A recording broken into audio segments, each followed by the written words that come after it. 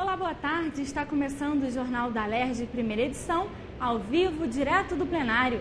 Os parlamentares vão analisar daqui a pouquinho uma proposta que determina que o Estado tenha tratamento contra a apneia do sono, um distúrbio que é, para com a respiração da pessoa, interrompe a respiração da pessoa enquanto ela está dormindo. Se a proposta do deputado Geraldo Pudim for aprovada hoje, ela segue direto para a sanção ou veto do governador.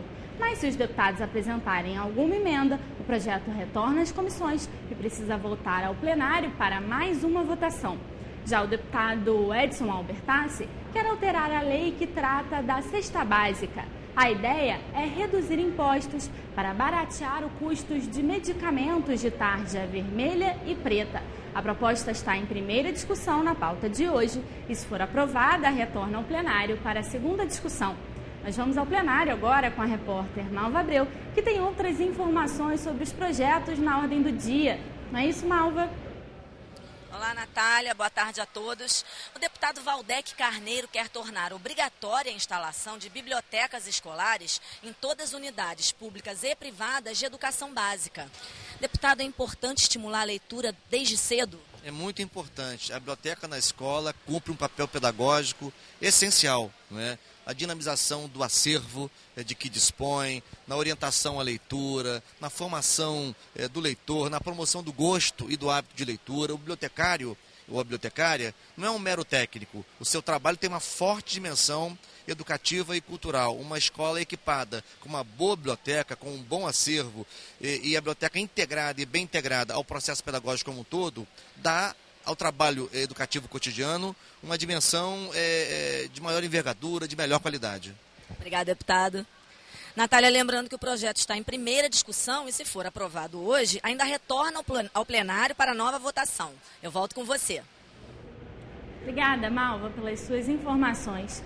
Os deputados também vão analisar daqui a pouquinho uma proposta do deputado Zaqueu Teixeira que determina que as bebidas energéticas coloquem no rótulo informações sobre a associação entre os energéticos e as bebidas alcoólicas que podem causar doenças no fígado.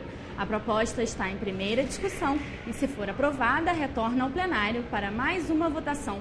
Uma outra proposta quer que o Estado conceda incentivos fiscais para as micro e pequenas empresas que tenham produtos de exportação essa proposta é do deputado Marcelo Simão e também está em primeira discussão na pauta de hoje. Já a deputada Marta Rocha é, apresentou uma proposta que vão ser analisadas as emendas que foram discutidas na última semana aqui no plenário. A ideia é que as bicicletas que forem apreendidas nas delegacias é, sejam destinadas para doação ou também possam ser vendidas pela Polícia Civil. Os recursos arrecadados com essa venda vão ser destinados para o Fundo Especial da Polícia Civil. Se forem incorporadas emendas ao texto, esse projeto retorna para análise das comissões. Se não forem incorporadas, o projeto segue para sanção ou veto do governador. Amanhã, a partir das 2h40 da tarde, eu estou de volta com todas as informações sobre a ordem do dia e a partir das nove e meia da noite, você acompanha a segunda edição do Jornal da Alerj, com tudo que foi notícia no Parlamento Fluminense.